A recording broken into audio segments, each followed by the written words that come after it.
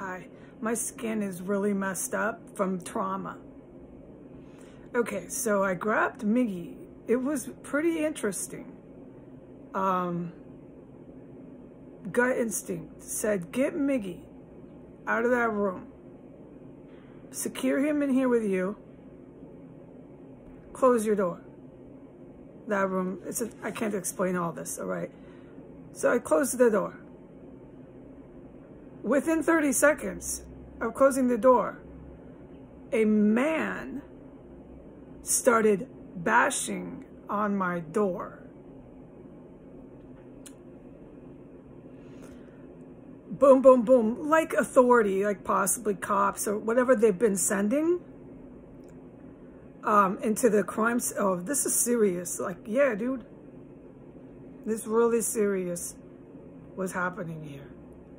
The cops, I'm the witness, so take that. You know, you're going to have to ask actual cops that are flying the helicopters and shining strobe lights on this joint. Ask them, because you, you're hearing it from the witness. But this is my, my take. The cops helped that lady make those fucking bombs upstairs. She makes the bombs. That's why the, the helicopters are always shining strobe lights straight up. And the neighborhood here, you have to you have to take it on them and say, hey, why doesn't that concern you when you know there's something going on on S Street? Because this clear police activity shit is so obvious, all right? All right most housewives would be talking to their husbands about this. Like, what is going on, honey? Okay, normal neighborhoods would ask that. So you're going to have to ask the uh, authority figures who are flying those helicopters, shining the lights, and doing all this stuff that I witness what's going on around here because I can't. I can't tell you, and they know that. I'm a witness. He moved me in on Craigslist. I rented this room from Craigslist, dude.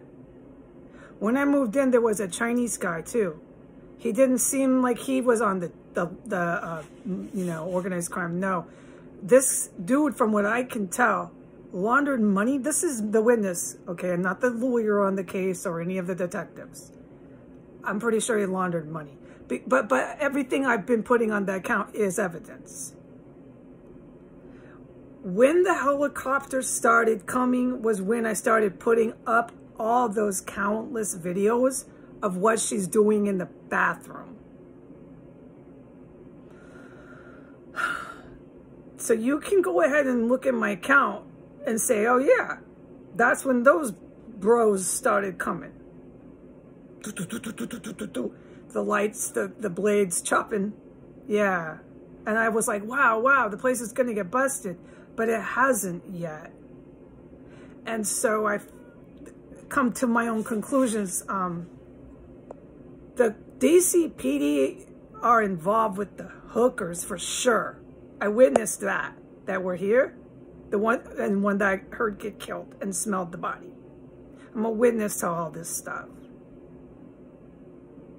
And so I have to assume they, they're involved with everything else I've witnessed here, like badge carrying cops.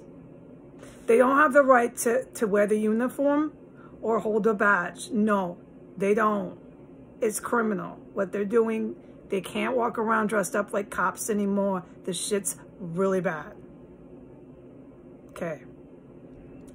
So I don't know who was at my door, but they knocked boom, boom, boom, boom, boom, boom.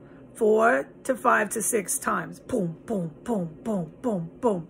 And they would say, Heidi, open the door. And they were shouting it. And they repeated that three times, three to four times. Boom, boom, boom, boom, boom, boom. Heidi, open the door. And they were shouting that shit out there. It was demands and it was hollered then they would say it again. Okay, let me just role play this so I can make this clear because it, to me, I think is important. Boom, boom, boom, boom, boom, boom. Bashing the door. Heidi, open the door. Heidi, open the door. Heidi, open the door. Boom, boom, boom, boom, boom, boom. Again, Heidi, open the door. Okay, so they did this four times while they were out there. That, where they just role played. And they didn't take any time in between to the Heidi open the door was exactly how I just role played it. Then they stopped. I stayed in here petrified. I didn't come out. I didn't react. I didn't communicate. I stayed in here petrified because I know I'm a witness. I know when people are getting killed and I'm smelling bodies, people. Okay?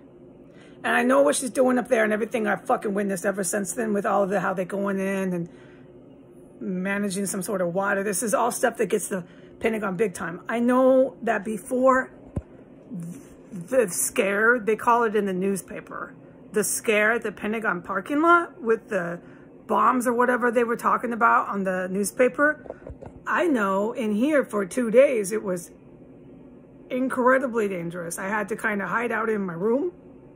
I know I heard glasses clink, clink, clink metal pipes clink like 24 hours a day for two days. Silent trips, the whole gamut. I don't need to recite this because it's already been pretty documented. I'm convinced, and I tried to tell the agents, you know, the feds and stuff on my tips. Yeah, and so obviously it's been proven right. What I'm witnessing is domestic terrorism, and I certainly witness homicide. It doesn't take more than a, a year of a rookie cop to know that. And the helicopters are all over this. And I don't talk about them anymore because it's important that I don't. So they just came to my door again because I'm a witness to domestic terrorism and homicide and scared the living daylights out of me. I think they're gone. I'm going to put this on YouTube. God bless America. I'll be all right.